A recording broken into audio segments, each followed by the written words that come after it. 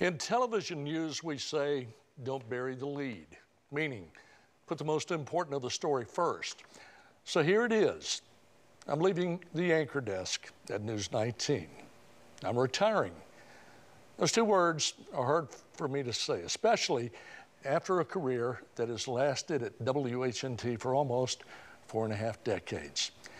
March 26th, I will anchor my last newscast. Is there ever a really good time to leave a job, a career that you love? I don't think there is. But this just feels right. On March 26, I will celebrate 45 years of reporting and anchoring at WHNT. And four days later, I will celebrate my 70th birthday.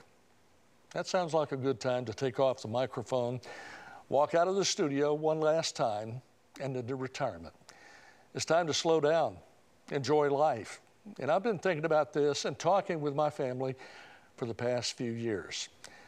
I knew this day would come, but I didn't know it would get here as quickly as it has.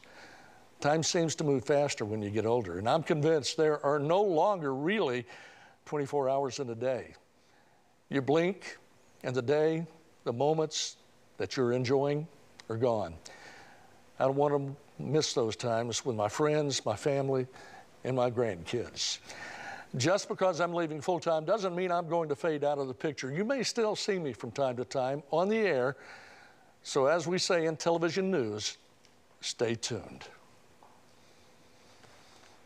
And obviously, as heartbroken as we all are, that you will be leaving us, not for two months. We still get two more months of yeah, two more months. Yes, but as heartbroken as we all are, no one has earned it more than you have. You have uh, given so much of yourself to this station and to this community, and I don't think anyone will disagree with me on that.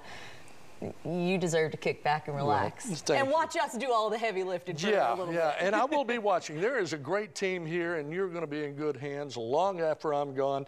And I'm, I'm just going to be like you. I'm going to be sitting at home watching.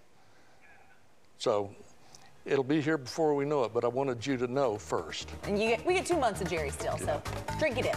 As we say, thanks for watching. The 630 is next.